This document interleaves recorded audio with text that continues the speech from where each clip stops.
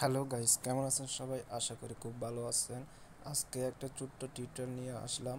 কীভাবে ফেসবুকে follow button add করবেন? দেখেন, এটা আমার রিয়েল আইডি এখানে দেখা যাচ্ছে দুই হাজার নয়শো আটপান্ন জন ফলোয়ার তো আমরা, আমাদের সচরাচর ফেসবুকে পাঁচ হাজার ফ্রেন্ড হওয়ার পর আর ফ্রেন্ড বাড়াতে পারে না। তো আমরা যদি ফলো বাটনটা যদি অন করে রাখি, তাহলে আমাদের আরও ফ্রেন্ড অ্যাড হবে। তো আজকে এই কাজটা দেখাবো।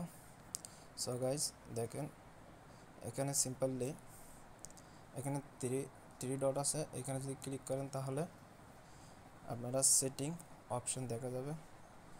সেটিং অপশানে যদি ক্লিক করেন তাহলে এখানে দেখা যাবে পাবলিক পোস্ট পাবলিক পোস্টে যদি ক্লিক করেন, এখানে এখানে দেখেন পাবলিক পোস্টে যদি ক্লিক করেন, দেখবেন এখানে পাবলিক ফ্রেন্ডস এখানে তিনটা অপশন আছে। মেবি চারটা অপশন আছে।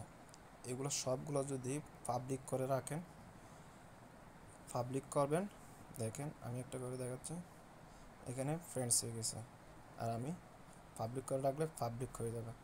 তো নিচে এখানে অন করে রাখবেন, তারপর এটাও অন করে রাখবেন, দেখবেন ফলো বাটনটা অন হয়ে গেছে। সো গাইস তারপর ব্যাক দিবেন। ব্যাক দেওয়ার পর ব্যাক দেওয়ার পর এখানে অ্যাবাউট অ্যাবাউটে দেখবেন, এখানে নিচে সিমোর অ্যাবাউট এখানে ফলো অপশনটা থাকবে।